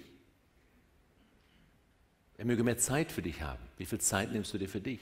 Schreib dir alles auf, was in Partnerschaft ist und auch in der Firma. Er, sie sollte, Mitarbeiter, Kollege, Chef, Partner, Sohn und Tochter. Schreib deine Erwartungen an andere Menschen auf und frage dich, gebe ich mir das selber was ich vom anderen erwarte und du wirst sehr fündig werden. Und die Antwort wird oft lauten, nein. Du kannst nicht vom anderen bekommen, was du dir selber vorenthältst, energetisch unsinnig. Das ist die Haltung des kleinen Kindes, das nicht wusste, ich kann mich selbst lieben lernen. Das ist eine Grundhaltung. Also die wichtigsten Faktoren für Mangel im Beruf, für mangelnden Erfolg sind also erstens grundlegende mangelnde Selbstwertschätzung. Hör mal rein. Selbstwertschätzung. Wert und Schatz steckt da drin. Wenn du dich nicht für besonders wertvoll hältst, warum sollen das andere tun? Dein dich nicht wertvoll halten strebt das Universum und du erntest Mangel, Rückmeldungen der Kritik, der Zurückweisung und so weiter. Wenn du dich selbst verlassen hast, ich habe eben vom Verrat des Herzens gesprochen, wie oft verrätst du dein Herz, wo du etwas tust, was du, wie wir sagen, eigentlich nicht tun willst? Hör zu, wenn du eigentlich sagst. Eigentlich ist das Wort für den Verrat am eigenen Herzen. Ja, eigentlich wollte ich immer schon. Aha, wie geht's dir? Eigentlich gut, schon gelogen. Das eigentlich heißt nicht. Eigentlich gut heißt, mir geht's nicht wirklich gut. Hör dir die Sätze an. Und übernimm die Verantwortung dafür, dass du irgendwann angefangen hast, aus Gründen der Einsamkeit oder sonst was, der Bedürftigkeit, etwas zu tun, um des lieben Friedens willen, hast angefangen, die Erwartungen anderer zu erfüllen und über die Erwartungen deines eigenen Herzens hinüberzustellen. Und das ist Verrat am eigenen Herzen. Und das hat Folgen. Das kommt jetzt zu dir zurück, als wie alle Schöpfung zu dir zurückkommt. Das fühlt sich einfach beschissen an in dir. Wenn das Herz sagt, du hörst ja nicht auf mich. Du gehst eher aus, auf Sicherheitsgründen. Diese Welt ist jetzt noch stärker als bevor. Das Leben ist immer schon Veränderung. Aber jetzt in diesen Jahren ist diese Welt von Veränderung, von Transformation bestimmt. Selbst in den großen, besten Unternehmen, wie sie heißen, Adidas, Linde, wie sie alle heißen, die wirklich gut funktionieren, steht permanente Transformation unter den ersten drei strategischen Hauptpunkten. Sie verstehen nur etwas anderes darunter. Permanenter Wechsel, permanente Veränderung. Das Leben ist immer Veränderung. Dein Körper verändert sich den ganzen Tag. Abends hat er eine andere Zusammensetzung als morgens. Nach so einem Vortrag von mir erst recht. Ja? Das heißt, alles fließt. Bitte nimm dieses Bild, das Flusssystem. Alle Energien wollen ständig fließen. In deinem Körper fließt das Blut und zwar im Kreisläufe. Eins hin zum Herzen, eins vom Herzen. Der Atem möchte rund fließen. Die Lymphe möchte fließen. Die Elektromagnete der Meridiane möchte fließen. Dein gesamter Körper ist ein unglaubliches, vielfältiges Flusssystem. Alles fließt im großen Kosmos, permanente Bewegung, permanente Veränderung fließen in Kreisläufen. Darum sagt unsere Sprache auch, schön, das ist eine runde Sache, das fließt. Wir aber haben auf unbewusste Weise Dinge ins Blockieren, ins Nichtfließen gebracht, unter anderem durch unsere Nein. Nein zu dem, was doch schon da ist. Dein Partner verlässt dich und du sagst, nein, das sollte er nicht machen, ist auch schon weg. Ja? Wir sagen einfach zu dem Nein, was passiert im Leben. Ein ganz einfaches Beispiel, was ich gerne nenne, angenommen, jetzt wird gerade bei dir zu Hause eingebrochen und irgendwas Schönes geklaut. Zum Beispiel dein Familienschmuck. Hm? Als Beispiel. Sollte noch der eine oder andere da haben. Dann spricht das Leben eine ganz einfache Sprache zu dir und möchte, dass du sagst, ja, so sei es. Aber wir sagen, scheiße, der sollte noch da sein. Der hätte nicht geklaut werden sollen. Das Leben sagt dir aber, wenn er geklaut ist, dieser Schmuck sollte jetzt nicht mehr bei dir, sondern in den Händen eines anderen sein. Und du sagst ja, so einfach kann man es aber nicht. Ja. Doch, genau so einfach. Und es liefert dir sogar noch einen Beweis, der Schmuck ist weg. Ja? Wir sagen Nein zu dem, was doch schon geschehen ist. Mein Partner hat mich verlassen, der sollte noch bei mir sein.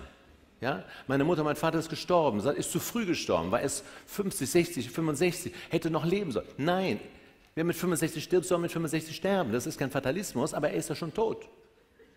Ich habe früher als Einzeltherapeut viele Witwen in meiner Therapie gehabt. Die waren vielleicht wütend. Ich sage, wie lange war es verheiratet? 35 Jahre. Habt ihr Kinder? Ja. Sind sie gelungen? Ja. Und, wo ist die Dankbarkeit? Nein, der sollte noch leben. Und das ist ein Grundverhalten, was wir machen. Wir sagen Nein zu dem, was doch schon geschehen ist. Was da ist, ist soll da sein, was nicht da ist, soll nicht da. Wenn du nachts nicht schlafen kannst, dann sollst du nicht schlafen. Und der Kopf sagt, ich muss schlafen, ich muss schlafen, ich muss schlafen. Tolles Schlafmittel, wa? Das heißt, was schon da ist in dir, zum Beispiel die Enge, die Schwere etc., möchte nicht negiert werden, möchte nicht ignoriert werden, möchte nicht verdrängt werden, sondern angeschaut werden. Es ist jetzt eine Anschauzeit.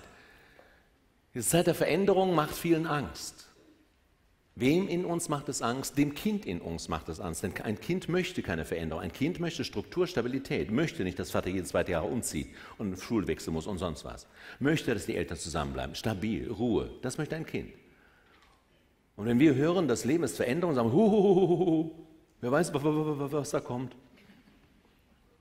Ich lade dich ein, dein Herz zu öffnen, deinen Geist zu öffnen für den Segen der Veränderung, eben mitzuschwimmen und dich neugierig darauf zu freuen, wer du im nächsten Jahr sein wirst. Du kannst dich im nächsten Jahr, in einem Jahr als ein vollkommen anderer Mensch erleben. Wer von euch hat schon mit meinen Meditationen und sonstigen sein Leben verändert und sagt, hätte ich nie gedacht, bitte mal aufzeigen. Herzlichen Glückwunsch, fragt sie. Ja? Das hätte ich nie gedacht. Ich hätte nie gedacht vor zehn Jahren, dass ich hier stehe vor 700 Menschen. Vor zehn nie gedacht. Vor 20 Jahren erst recht nicht. Das war nicht geplant. Das war nicht in meinem Kopf. Das ist geführt worden. Das ist in unserem Herzen. Nochmal, in jedem Herzen ist ein Plan deines Weges, deine Möglichkeiten. Generell für alle gilt, dieses Leben ist eine Wanderung, eine Reise hin zu dir selbst, in dein ganzes Potenzial, in dein ganzes Lieben. Denn das ist dein größtes Potenzial, deine größte Macht. Und dieses Jahr 2014 ist ein sehr starkes Fokusjahr, wo die geistige Welt sagt, mit der ich seit 17 Jahren arbeite, unter anderem diesen Erfolg zu verdienen habe. Liebe jetzt da, wo du aufgehört hast zu lieben. Du Mensch kannst viel mehr lieben, denn dieses Herz ist nicht nur ein Ort von Wissen, Freude. Es ist ein Generator für Liebe. Wir erzeugen Liebe. Wir empfangen nicht nur so als Relaisstation, sondern dieses Herz kann Liebe erzeugen und in die Welt bringen. Du kannst Liebe in deine Firma bringen, in deine Abteilung. Du kannst Liebe in deinen Körper bringen und dich wieder mit ihm verbinden, anstatt ihn zu verurteilen. Veränderung, wie gesagt, mag dem Kopf und dem Kind in uns Angst. Wer dauernd an Sicherheit und Kontrolle denkt, und das tun sehr viele, das tut der normale Mensch, muss sehr viel Angst in sich haben. Nur wer Angst hat, möchte festhalten. Darum spür nach, wo sehnst du dich nach Sicherheit, nach Kontrolle? Fünf Schritte der Verwandlung, die unserer Transformationstherapie zugrunde liegen, lade ich dich ein, anzuwenden in deinem Leben. Der erste Schritt ist nochmal, ich öffne mich dem Gedanken, dass ich Schöpfer bin. Übernimm deine Verantwortung für deine Schöpfungen und öffne dich dem Gedanken, dass du immer schon Schöpfer warst, bist und immer sein wirst. Du kannst nicht nicht erschaffen. Du kannst nicht nicht denken. Deine ganze Ausstrahlung, ohne jedes Wort, ohne ein Wort zu sprechen, veränderst du die Welt, entweder nach unten oder nach oben. Wenn du morgens in die Firma kommst oder deinen Arbeitsplatz, veränderst du sofort das Klima nach unten oder nach oben durch deine Ausstrahlung, durch die Energie, die du ausstrahlst. Verschlossenes Herz, offenes Herz, Verbindung, Verurteilung, Wertschätzung, Lob, Lächeln oder Arschloch. Und in jeder Begegnung mit Mitarbeiter, Kollege, Chef, Kunde, Lieferant, mit jeder Begegnung mit einem Menschen, sei es persönlich per Blickkontakt, schon ohne Worte, per Telefon, per E-Mail, veränderst du die Welt runter oder hoch. Du entscheidest, in welche Richtung. Je mehr Unfrieden du in die Welt bringst, bringst du die Unfrieden auch an deinen Arbeitsplatz. Dieser erste Schritt, ich öffne mich für die Verantwortung für mein Schöpfertum, bringt dich, wenn du dich ihm öffnest, aus dem Bewusstsein eines Opfers hinaus, katapultiert dich in das Bewusstsein eines kreativen, liebenden, bewussten Schöpfers. Das fühlt sich vollkommen anders an. Opfer ist immer mit Ohnmacht verbunden, mit Hilflosigkeit. Du denkst, Du wärst das Opfer deiner dich mobbenden Kollegen. Kommen wir gleich mal zurück. Ohnmacht entsteht, weil ich glaube, dass andere die Macht hätten über mich, dass das Leben dich nicht nett behandelt, dass du Opfer des Lebens bist, der Umstände, des Schicksals. So etwas gibt es nicht. Es gibt keinen Zufall, kein Glück, kein Pech, nicht das, was wir gelandläufig unter Schicksal verstehen. Es gibt nur im Nachhinein meistens mit zeitlichem Abstand sehr logisch nachzuvollziehende Ursache-Wirkungszusammenhänge, die ich eben schon aufgeführt habe. Wenn du dich klein gemacht hast, wundere dich nicht, dass andere dir auf den Zeh treten und dich kleiner machen. Der zweite Schritt, das, was jetzt da ist, was sich in deinem Leben zeigt, in deinem Körper, in deinem privaten, bei deinem Sohn, bei deiner Tochter, bei deinem Partner, in deinem Körper, in deinem Auto, in deiner Firma etc., macht einen Sinn und will da sein, will angenommen werden. Das, was jetzt da ist, will angenommen werden. Heißt, anerkenne das, was jetzt da ist. Warum? Ganz banal, es ist schon da. Und was schon da ist, hat seinen Sinn und seine Berechtigung, möchte nicht ignoriert und abgelehnt werden, sondern möchte wahrgenommen und angenommen werden. Das ist für den Kopf oft schwierig. Wieso soll ich etwas annehmen, Ja sagen zu etwas, was unangenehm ist? Weil es sich dann energetisch verändern kann.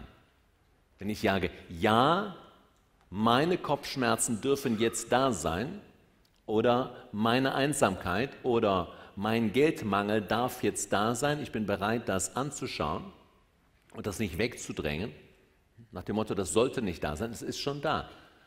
Dann besteht die Möglichkeit, es zu verändern. Wenn ich sage, nein, dann ist zu, dann kann es sich nicht verändern. Und alles, was du ablehnst, was da ist, zum Beispiel als Spiegel bei deinem Partner, dein Partner verlässt dich, geht fremd, geht mit einem anderen Menschen ins Bett und du fühlst dich als Opfer seines Fremdgehens. Kannst du machen, fühlt sich nur scheiße an. Zumindest noch mit Gedanken begleiten wie, ja, typisch, dass das mir passiert. Was hat die andere, was hat der andere mehr und so weiter. Du machst dich noch zu sauer dabei. Was ist der Hintergrund, wenn du verlassen wirst? Erste Frage, wie oft hast du dich verlassen? Wie oft bist du von deinem Herzen fremdgegangen? Sozusagen in den Kopf, Gedanken anderer um des lieben Friedens. Das ist auch ein Fremdgehen, dich verlassen. Mein Partner sollte nicht. Er sollte nicht so viel trinken, höre ich immer wieder von Frauen. Doch, sollte er. Warum? Er trinkt. Und er braucht es. Vielleicht braucht es morgen nicht mehr, aber heute braucht es, wenn er säuft. Und die Frage für dich könnte sein, könnte es sein, dass du, ich sollte nicht so viel schlucken? Sehr viele Paare. Er säuft, sie schluckt runter und macht die Schnauze, den Klapper nicht auf. Ja? Sehr oft. Das passt zusammen. Wie Topf auf Deckel oder Deckel auf Topf.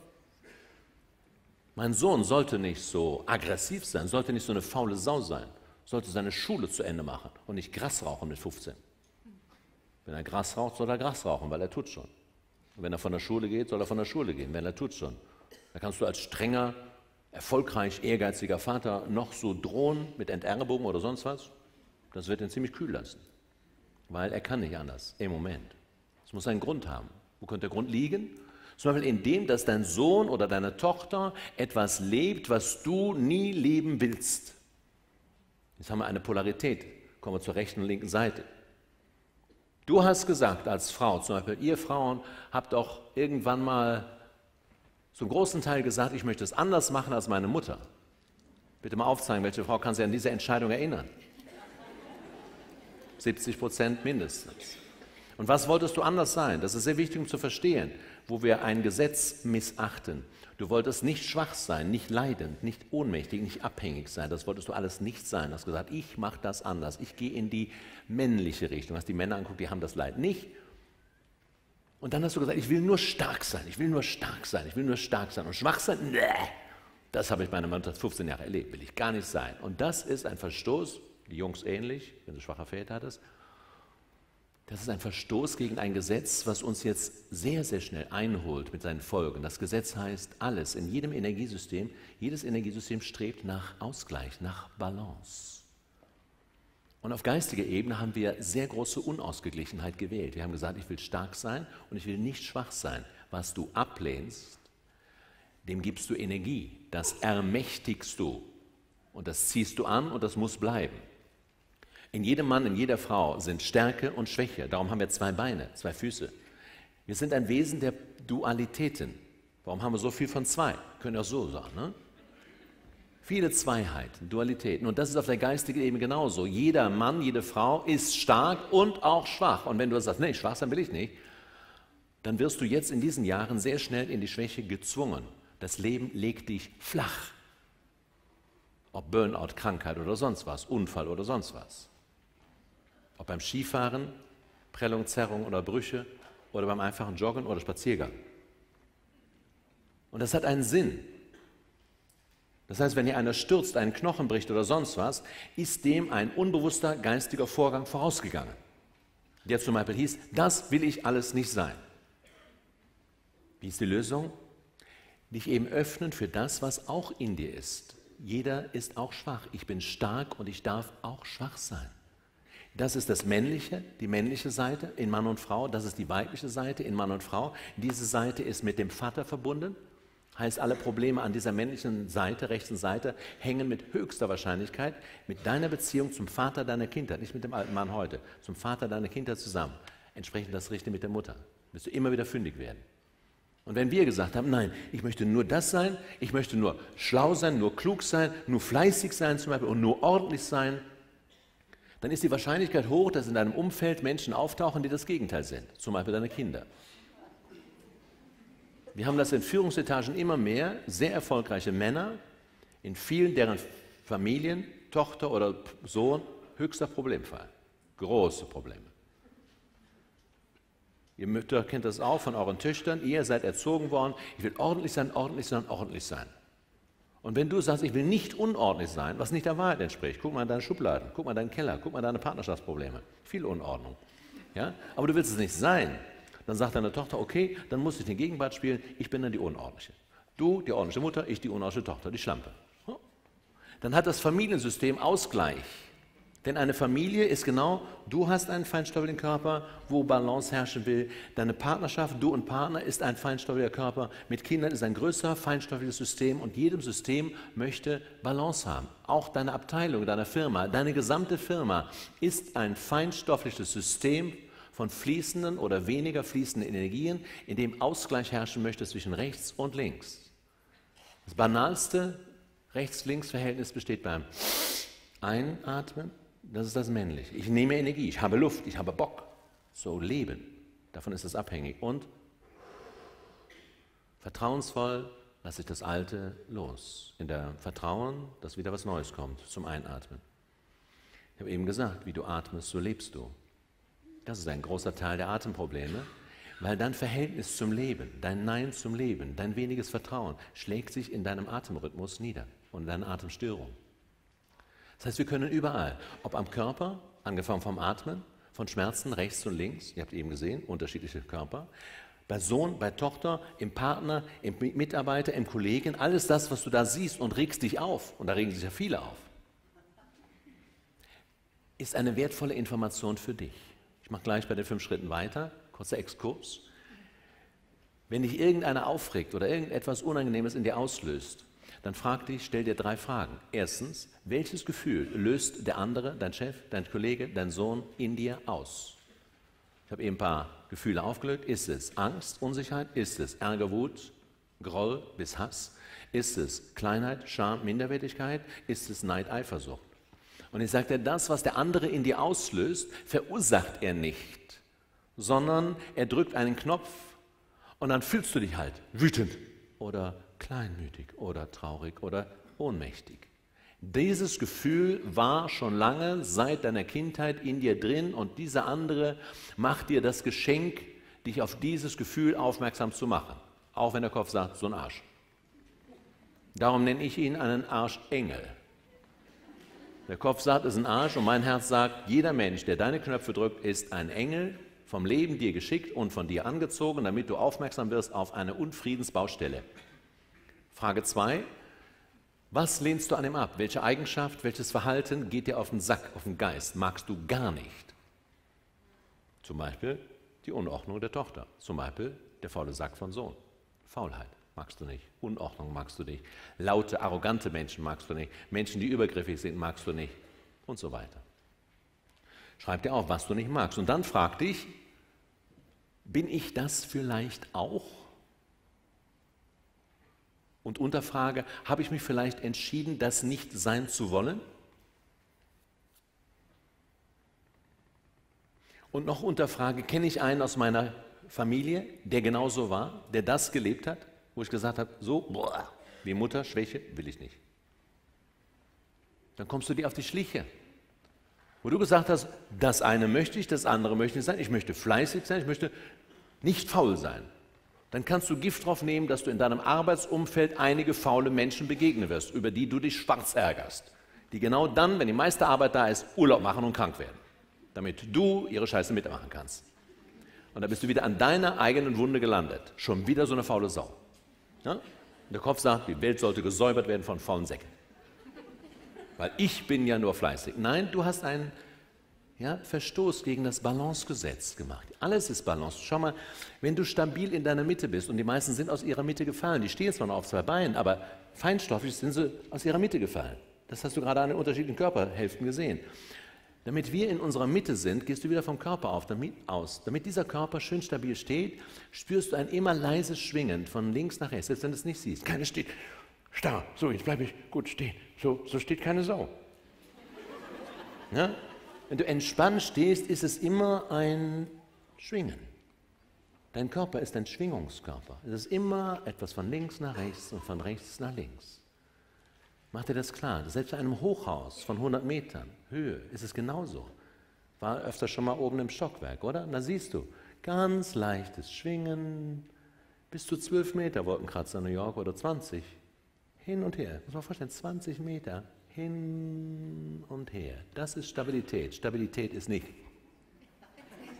Starrheit, sondern Schwingung. Pendeln von einem zum anderen. Und wir leben so, als würden wir montags morgens einmal einatmen und sagen, Freitag wieder ausatmen. Oder jeden Tag nur einatmen, aber nie ausatmen. So leben wir. Wir sind aus unserer Mitte gefallen. Wir haben uns verloren im einseitigen männlichen Denken und Machen und Machen und Denken und Denken und Machen. Was haben wir verpasst? Leben wir nicht? Das Nichtmachen, das Nichttun, das Dasein. Das einfache, bewusste, atmend, fühlende, genießende Dasein. Sei es in der Natur, sei es auf deinem Sessel, sei es in deiner Badewanne, sei es mit deinen Freunden, bei einem genussvollen Essen. Dasein, nicht dicki, dicki, dicki, dicki. Spiel mal, wie oft du eben für dich mit dir allein genussvoll sein kannst. Wer kann denn schon mit sich selbst allein sein und das auch noch genießen? Ja? Und da du es nicht machen kannst, wirst du dahin gezwungen. Zum Beispiel ins Krankenhaus, im Bett, und du bist auch nicht allein. Ja, diese weibliche Seite ist eben auch in unserer Firmen. Unsere Firmen sind einseitig männlich, nicht wegen der mangelnden Frauenquote oder wegen der Dominanz der Männer, sondern auch die meisten Frauen hier, hier und in den Firmen sind meistens einseitig männlich geprägt. Ihr seid als Frauen, weil ihr die Weichheit, die Schwäche der Mutter abgelehnt und verurteilt habt, seid ihr seit 30, 40 Jahren ins männliche, in das männliche Pol gegangen, habt euch die Hosen angezogen, die ihr noch im Sommer tragt. Viele haben die Kampfanzüge angezogen und geht kämpfend, durchhaltend durch die Welt. Und euer Körper besonders, der Körper der Frauen, zeigt euch das jetzt über das Thema Verhärtung und Schmerzen. Da ist bei Männern wie Frauen jetzt das Weichwerden angesagt, über das Fühlen, über das Wahrnehmen und das Annehmen dessen, was jetzt da ist. Übertragen im Sinne in den Firmen ebenso, dort wird das Rationale, das Nicht-Emotionale, das nicht das Fühlen, denn hier ist das Denken und da ist das Fühlen. Hier ist das Anspannen, hier ist das Loslassen. Ja? Hier ist das Arbeiten und hier ist vielleicht das Spielen oder das Faulenzen, das Chillen oder was immer. Diese Rechts-Links-Polarität zieht sich durch alles, durch deine Freizeit, durch überall, wo du bist. Und dieses Leben ist wir sind da aus den Fugen geraten, heißt, wir haben unseren Rhythmus verloren. Wenn wir als Einzelperson unseren Rhythmus und unseren Takt verloren haben, dann ist es kein Wunder, dass auch unsere Firmen ihren Rhythmus verloren haben und einseitig im Durchhalten, Druck machen, erreichen wollen, materiell orientiert sein, Gewinne machen und so weiter, da sind. Wenn der Mensch sich selbst nicht wertschätzt, warum erwartest du, dass dein Chef, dass deine Firma, dass dein Vorstand dich wertschätzt als Mensch und nicht nur als Arbeitsfigur? Macht gar keinen Sinn. Der Bewusstseinswandel in der Wirtschaft, in der ganzen Gesellschaft wird über den Bewusstseinswandel vieler Männer und Frauen stimuliert und gemacht werden. Das heißt, es ist ein Aufwachprozess hier für dich. Wie sieht es in der Firma aus? Da wird eben, oder schauen wir zurück in die Natur, da haben wir Rhythmus. Wir haben Jahreszeitenrhythmus, wir haben Tag- und Nachtrhythmus. Das ganze Leben ist ein fließendes und in Rhythmen sich abspielendes. Und wir sind als Männer und Frauen aus unserem Rhythmus gefallen. Früher war der Tag einer Familie mehr von Takt und Rhythmus geprägt. Vor 100 Jahren hat die Familie noch gemeinsam gefrühstückt. Da waren noch ein paar mehr Kinder, zehn Leute beim Frühstück. Mittags gefrühstückt, danach Ruhe. Dann wieder gearbeitet, abends gemeinsam gegessen. Allein das gemeinschaftliche, genussvolle Essen ist ein Taktgeber für den Tag. Und was machen wir? Mindestens ein Drittel frühstücken schon nicht mehr. Wenn nicht die Hälfte. Aral-Shop. Geht ja auch im Auto. Ne? Das ist ein Kulturverlust höchsten Ausmaßes. Denn dieses Viertelstunde bis halbe Stunde gemeinsam oder allein, selbst wenn du Single bist, mit Genussfrühstück an einem schönen Tisch, das ist mehr als Nahrungsaufnahme. Das ist feinstoffliche Energieaufnahme, das ist Lebensgenuss, das ist Lebensfeier. Da, da fängt ein Morgen an, 16 Stunden Wachzeit, 17 Stunden bei viel und du schmeißt dich rein ins Leben und bist im Denken und Denken, stehst unter Dusch, bist schon bei der Arbeit, im Auto bist du auch nicht dabei. Wir sind nicht da. Wir sind nicht präsent. Wir nehmen den Moment nicht da. Wir fallen aus dem Moment raus, aus dem Jetzt. Und wenn du vorstellst, nur im Jetzt, Jetzt, Jetzt, kannst du auch besser im Nun sagen, findet das Leben statt. Nicht vor zwei Minuten, nicht in fünf Minuten. Nun. Das ist der einzige Moment, wie Eckart Tolle und Thich Nhat Hanh und andere dargestellt, wo Leben stattfindet. Und wir sind nicht da. Wir haben uns in Gedanken verloren. Und ihr Frauen Macht euch Gedanken um andere. Ihr seid nicht bei euch. Ihr macht euch Gedanken um den Tochter, um den Sohn, um den Mann, vor allen Dingen um die Eltern und die Schwiegereltern. Aber keiner hat euch gesagt, mach dir Gedanken um dich und sei bei dir. Und fühl dich, spür, was dein toller, hochmedialer Frauenkörper dir sagt. Ihr habt auch tausend mehr Antennen als wir Männer, wenn ihr bei euch wärt. Das ist eine alte Tradition, inklusive mit dem Sorgenmachen. Wenn ich bei einem anderen bin, ihr macht den ganzen Tag Gedanken, wo ist der Mann? Ja? Überleg mal, mach mal eine Strichliste für jede Frau. Ja? Beobachte dich mal ein paar Tage, mach eine Strichliste jedes Mal, wenn du an einen Mann denkst. Was meinst du, wie viele Striche du am Abend hast? Nicht fünf, nicht zehn, 30, 40, 50. So oft denken Frauen im Schnitt an ihre Männer. Hat er sein Butterbrot mitgebracht? Geht er bei Obi vorbei? Die macht so, kommt doch wohl pünktlich? Hat auch Verdauung gehabt? Ihr kümmert euch um jeden Scheiß. Entschuldigung. Und uns Männern geht das mächtig auf den Sack. Ja? Ja. Es ist kein Vorwurf, es ist eine Tradition. Und dann macht euch Sorgen um jeden Furz. Ja, wie Mutter gemacht hat. Hast doch genug gegessen. Du siehst so schwach, schwach aus. Hm? Ruf an, wenn du angekommen bist. Weil dieses Sorgenmachen ist einfach eine Unart von Tradition zu Tradition von Frauen weitergegeben. Es ist eine geistige Umweltverschmutzung. Ja, nicht weniger. Denn eine Sorge ist eine verkappte Angst. Es sind die Angst der Frauen, die sagen, Sorgen ist Lieben. Sorgen hat mit Lieben nichts zu tun. Mach dir also klar, wenn du dir Sorgen machst, ist in dir, der Frau, es gibt auch Männer davon, ist Angst. Schau dir diese Angst an. Das ist wesentlich. Angst möchte bejahend gefühlt und verwandelt werden. Der Mann denkt auch nicht an die Frau, er denkt meistens an die Arbeit. Der Mann hat noch weniger gelernt, für sich ein Liebespartner zu sein. Du brauchst keinen Partner. Nein. Wenn du etwas brauchst, dann ist es ein inniges, liebendes, bewusstes Verhältnis zu dir als Frau und Mann, die Übernahme der Verantwortung für dein, deine Vergangenheit, für deine Schöpfungen. Wie gesagt, zweiter Punkt, nimm das an, was jetzt da ist. Punkt drei, der Schritte der Verwandlung. Nimm deine Urteile zurück, erkenne, dass du geirrt hast Vergebung nennen wir das. Vergebung heißt nicht, du warst eine blöde Sau, ich will dir nochmal vergeben. Nein, das ist eine erneute Verurteilung.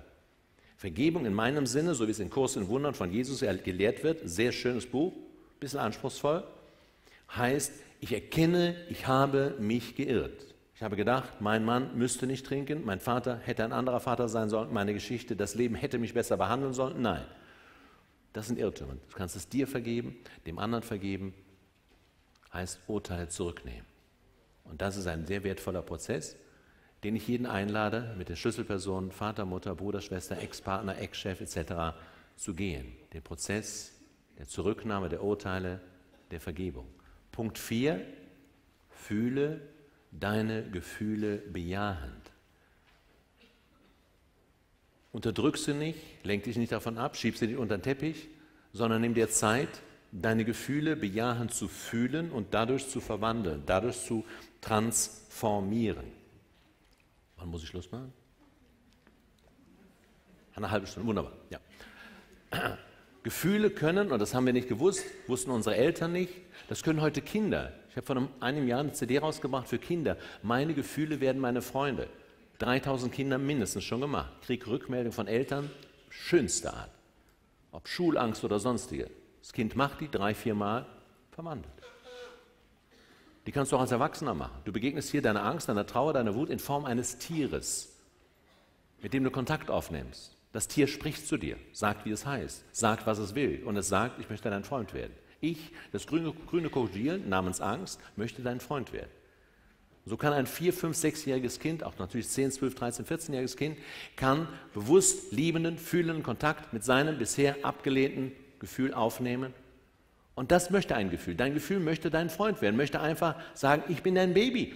Du hast mich mit drei, vier, fünf, sechs Jahren erschaffen und dann hast du mich unterdrückt und hast mich immer mehr genährt mit deinen komischen, angstmachenden Gedanken. Ich habe dir gedient, ich bin deine Angst.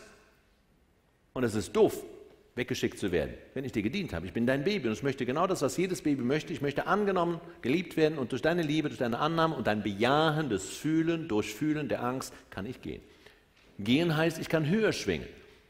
Durch diese vielen Meditationen, Frieden mit meinem Arschengel, Vater und ich, Mutter und ich, negative Gefühle in Freude verwandeln, meine Gefühle werden meine Freunde und viele andere, öffnest du dein Herz für das bejahende Fühlen eines Gefühls und dadurch, dieses Gefühl ist eine Energie niedriger Schwingung. Angst, Wut, Schmerz ist eine niedrige, nicht Schmerz, streich das, Angst, Wut, Scham etc. ist eine niedrige Schwingung.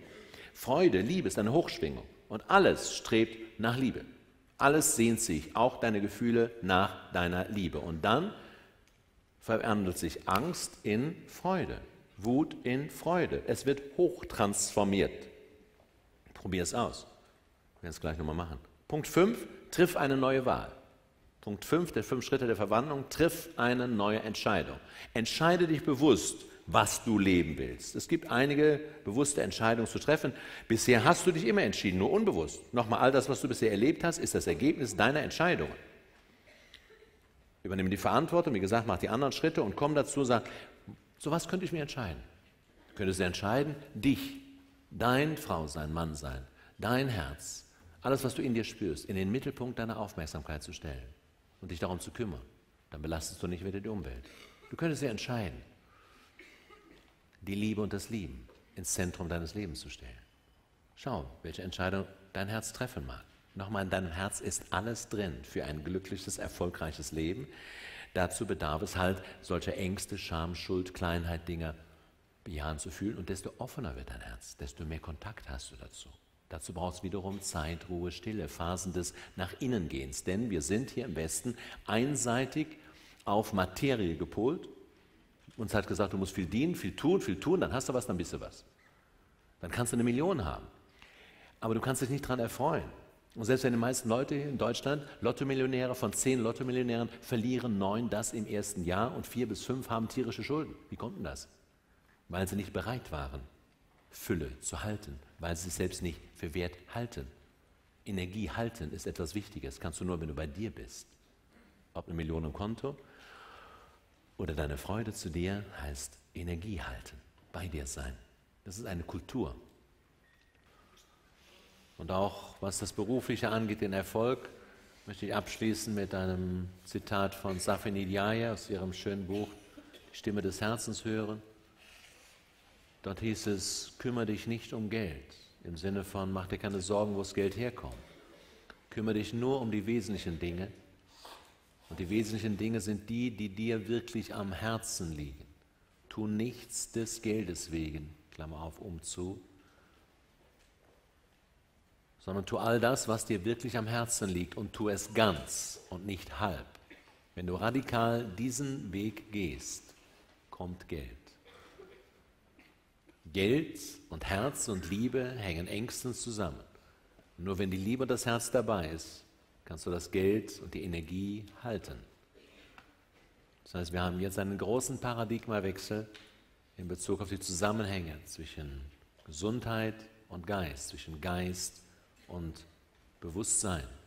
Bewusstsein und Sein heißt, dieser Weg zum Herzen ist jetzt keine ganz freiwillige Veranstaltung mehr, sondern der freie Wille des Menschen ist jetzt so weit eingeschränkt, dass diese Bewegung jetzt der Transformation des Höherschwingens stattfindet, ob du da mitmachen willst oder nicht. Es soll keine Drohung sein, sondern als ein Segen, eine glückselige Botschaft, dass wir jetzt in diesen Jahren ein altes Zeitalter beenden. Das Unzeitalter des unbewussten Normalmenschen und jetzt in ein neues Zeitalter mit sehr großen Schritten gehen. Und das ist das Zeitalter, das Goldene, der Liebe. Das, was schon mal auf der Erde war, mancher weiß es, Stichwort Lemurien, später Atlantis, das machen wir jetzt neu und nochmal. Und diesmal klappt's. Das ist dieses kristalline Kristallbewusstsein, man nennt es auch Christusbewusstsein, das Bewusstsein des All-Einsseins, des Allverbundenheit. Das erwacht jetzt wieder in den Herzen der Menschen. Und das wird keine Firma auslassen, keine Ehe, keinen Körper, nichts auf der Erde.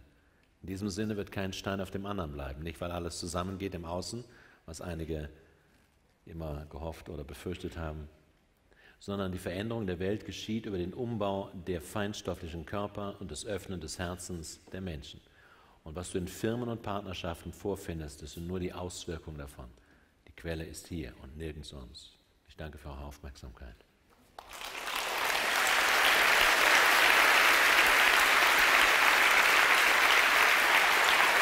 Dankeschön.